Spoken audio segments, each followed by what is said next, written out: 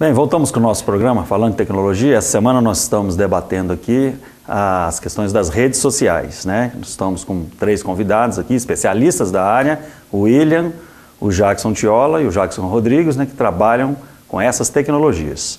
E agora nós queremos discutir a questão da segurança. É tudo muito bom, muito bem, né? Essas redes, é muito sucesso, mas tem a questão da superexposição e problemas diversos, que, né, que a gente tem pouco tempo aqui, mas vou pedir aos nossos convidados para citar alguns casos, né? O Jackson tem aí até um artigo aí, né, Jackson? É, a gente tem um artigo aqui que é uhum. recente aqui, né, do, é, sobre segurança nas redes sociais, e ele cita uma, lista, uma listagem de, de recomendações que devem é, ser seguidas para poder ser, ser participar das, das, redes sociais, mas de uma maneira segura, né? É, por exemplo, um deles aqui fala que menos é mais, né? Ou seja, não, não quer dizer que você tudo que você postar, você tá lá, posta foto do seu carro, foto da sua casa, é, tudo que você postar, às vezes a pessoa assim, ah, eu quero mostrar minha vida inteira, né? E então isso meio que você está super é, se expondo né, de maneira que talvez não é necessário. Você pode ali postar uma foto que você foi num, num evento, algo né, que, né, que, não, que não comprometa também a sua segurança. Então tem gente que posta foto da casa, ou seja, se o cara estiver mal intencionado, ele vai lá, consegue ver lá como é que é a segurança da casa da pessoa, o carro que ela usa, tem gente que posta foto com carro com placa. Então tem um monte de detalhes né, que você que você se expondo ali, gerando essas informações, você acaba é, ficando inseguro, né? Você, se, se tiver pessoas, né, como tem, mal intencionadas, elas vão usar aquelas informações para poder é, praticar um crime, né? Que é, o, que é o foco aqui no caso. O William pode falar mais. Eu vou fazer uma analogia ao mundo real. Você, vamos supor que o, o Jakes trabalhou a vida inteira, conseguiu comprar um Camaro. Eu duvido que ele vai pegar essa foto do Camaro e vai andar na rua falando que olha aqui o carro que eu comprei, olha o carro novo que eu comprei, foi o sonho de uma vida, gastei X mil reais nesse carro. Não vai mostrar, vai mostrar para os amigos dele. Né? Na rede social tem muita gente que pega essa foto da sua casa, do seu carro, dos seus filhos, de parentes, de festas e coloca. E graças a Deus hoje existe um recurso, por exemplo, no Orkut, você restringir essas fotos aos seus amigos. Quando você abre isso para todo mundo, você abre realmente para qualquer pessoa, bem ou mal intencionada, ter acesso a esse tipo de informação. E isso não é bom. Isso não é bom. Não sei se o Jake queria complementar. Bom, e além disso tudo, a gente tem a parte também de, além de expor, a pessoa às vezes acaba sendo até chata também, expondo demais todas as coisas e colocando várias mensagens para as pessoas e assim por diante.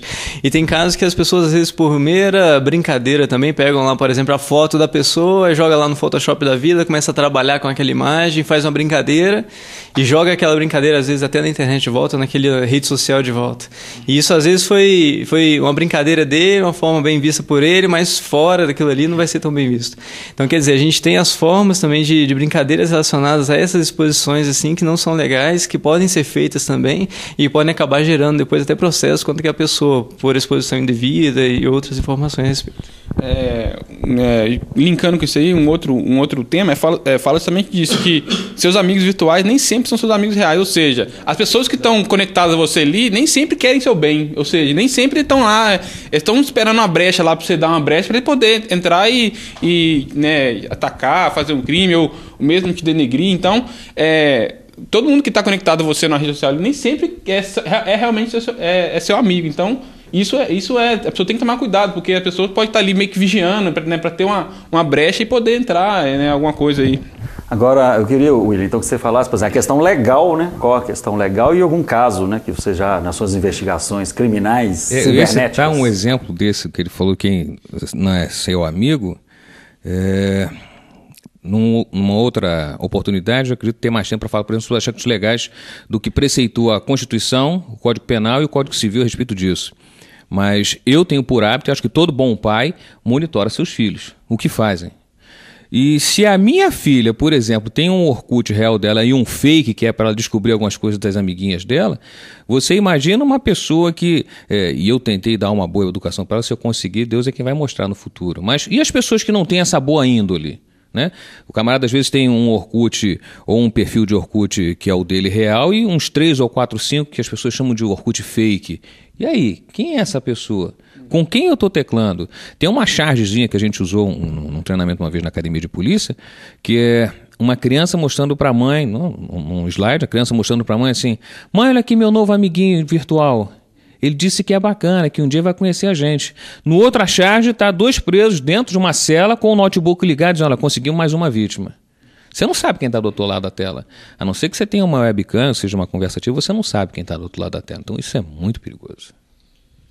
É, é, é, continuando aqui alguns outro, outros temas aqui, tem aqui um, um, um, tema que é interessante, que é se beber no Twitch. Ou seja, às vezes a pessoa está na rede social, mas se ela não estiver preparada para poder é, né, se ela estiver, vamos supor, alcoolizada ou drogada, ela pode acabar é, acabando com a reputação que ela demorou anos para criar ali, né? Você tem lá um perfil profissional, você chega lá, tem, tem, tem casos que já viu na internet de pessoa que fala mal da empresa, que trabalha, o cara tá, né, tá bêbado, vai lá, chega e fala mal da empresa, fala mal do patrão, xinga.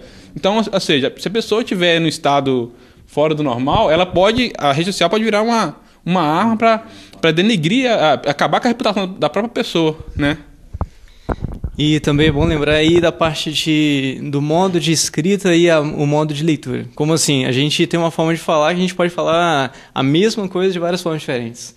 Você é um louco? Você é um louco? Você é um louco. Então é totalmente diferente. Então, às vezes, o tipo de brincadeira da pessoa, ela escreve uma forma lá de brincadeira com outra pessoa, só que a pessoa está no momento, por exemplo, nervosa, acabou de discutir. Então, a forma que ele leu já é uma forma totalmente nervosa, já levou a mal aquilo ali e pode gerar vários conflitos e problemas gerados. Principalmente por essa forma de leitura que a gente tem aí. Agora eu queria perguntar, William, que, que medidas, então, rapidamente, nós só temos dois minutos, é, que medidas então que o, o, usuário, né, o nosso telespectador aí, que usa as redes sociais poderia tomar? Usar filtro, cuidado com o perfil, o que, que você sugere? Rede social tem o seu cunho de cumprir o papel social de conexão entre pessoas, entre amigos.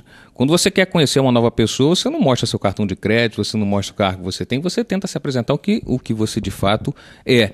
A minha recomendação é que nos, nas redes sociais se faça da mesma forma, tirando o LinkedIn, que é uma rede profissional, e quanto mais informações profissionais você colocar, melhor. Na rede social, eu sugiro que você continue, se quiser, colocando a foto do aniversário do seu filho, a foto do aniversário de casamento mas disponível aos seus amigos. Disponível para todo mundo, só o que você julgar é, que você faria no mundo real. Se você colocaria uma foto, se essa foto você mostraria para um estranho, então você deixa disponível. Se não mostraria, também não disponibilize lá. É uma forma de você preservar não só você, mas a tua família e os teus amigos, porque como é uma rede social, se eu me exponho e um dos dois Jackson está na minha rede, eu os exponho também. Então, se eu tiver essa preocupação, eu começo a ter menos problemas de, de segurança no ambiente das redes sociais. Não sei se algum, algum queria complementar. É, é, igual o que o Gusto está falando. A questão é, é, se você tentar manter uma coerência, né? Para poder é, é, não sair fora do que realmente você é na vida real. Então, você, não é questão de se expor demais. É, você tem que manter uma coerência realmente do que você é, manter, é, manter isso na, no ambiente virtual. Porque se você, às vezes, né? Tem pessoa que se transforma em outro personagem. Acaba que, por exemplo, é, a pessoa é, é uma coisa na vida real, né? Com contato com as pessoas. E lá na, no virtual ela age de outra maneira. Isso pode atrapalhar e, né, e gerar confusão, até mesmo das pessoas que se relacionam com ela. Ou seja, a pessoa tem um comportamento aqui, na internet é outro comportamento, então acaba que é, manter a coerência e né, dentro do que você está acostumado a viver no mundo real, transcrever aquilo para a internet. Dá tempo de citar um caso rápido? Pode, pode. É, conta com o comprometimento, é, sem citar nomes, mas preservando as identidades. É, você sabe que a gente dirige uma empresa de de crimes digitais, de investigação de crimes digitais, e um cidadão, certa vez, postou algumas fotos no Orkut e um ex-aluno mandou um link lá para a empresa e a gerente nossa encaminhou para mim e falou, professor, o senhor precisa ver isso.